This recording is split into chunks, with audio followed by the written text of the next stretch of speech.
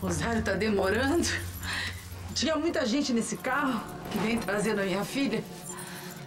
Engraçado, eu, eu tô assim exprimida, sabe? Meu coração tá apertado.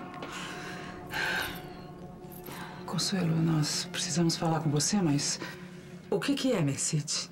aquela história que eu contei da gente atravessando o rio, eu pulei um pedaço. A gente estava atravessando, como eu te disse.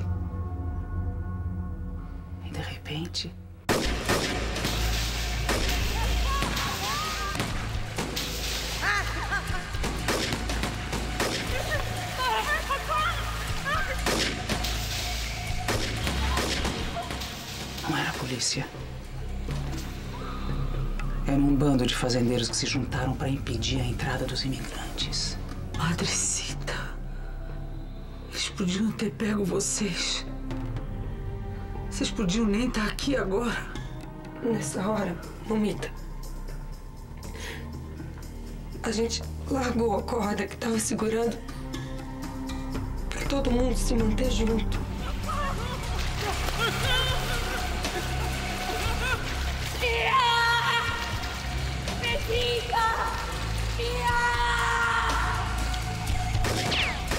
Era muito escuro. Ninguém enxergava ninguém. Foi cada um para um lado, tentando escapar dos tiros. Madrecita. E a partir desse momento, nós não achamos mais Rosário.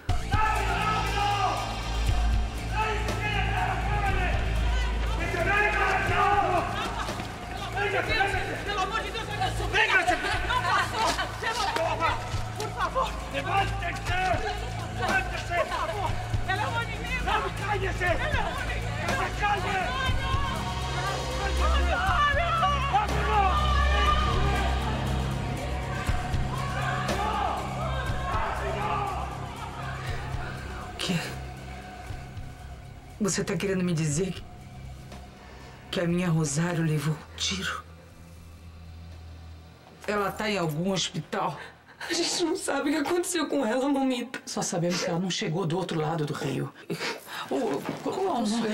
Ah, Mas... eu- Consuelo, Consuelo, Toma, Consuelo. Consuelo. Ela não volta. Calma, calma, calma, Consuelo.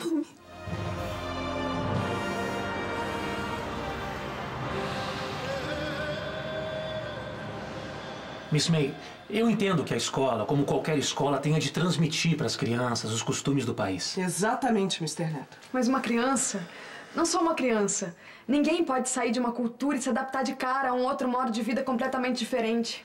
Nós só estamos pedindo um pouco mais de paciência com o Rick, Miss May. Não. Estão pedindo para que eu mude as diretrizes da escola. Para que eu adapte as diretrizes da escola aos costumes da sua família. Não, não é isso. Nós só estamos pedindo uma transição mais suave. É só isso, Miss May. É que o Rick tá assustado. Ele não quer frequentar a escola, ele tá com medo da escola. Com medo dos professores. Com medo de mim, a senhora quer dizer? É. O Rick tem medo particularmente da senhora. Neto, Ora, Elo, a gente veio aqui para resolver um problema, não é? Então vamos ser claros logo de uma vez. Tem razão, Mr. Neto, vamos ser claros. Em primeiro lugar, os senhores não estão no Brasil, estão nos Estados Unidos. E parece que ainda não estão muito conscientes disso. Miss May, A missão de dizer a uma criança que ela está num país diferente é dos pais, não é da escola. Quando vocês levam seus filhos à casa de um desconhecido, avisam o que é que eles podem e o que é que eles não podem fazer, não é? Não esperam que a rotina da casa seja completamente alterada para se adaptar aos costumes do seu filho. claro que não. Isso é educar. É ensinar uma criança o respeito pelos outros, pelo espaço dos outros, pela privacidade dos outros. Acontece, Um momento, Mr. Neto. Em segundo lugar, essa não é uma escola para latinos. Os senhores podem ver que existem pouquíssimas crianças latinas aqui. Existem muitas escolas que incentivam a matrícula de filhos de imigrantes. Esse não é o nosso caso. E sendo mais franca ainda, devo admitir que por mim não aceitaria. Bom, isso nós já percebemos, não é? Eu sou contra essa onda imigratória que eu temo que, que acabe desvirtuando os nossos costumes. Eu acho que cada um deveria ficar na sua terra, procurar viver na sua terra. Fui clara? Claríssima. Neto, De modo que, encerrando o assunto, Faça o menino entender que ele está num país diferente e que vai ter que se adaptar às diferenças, ok?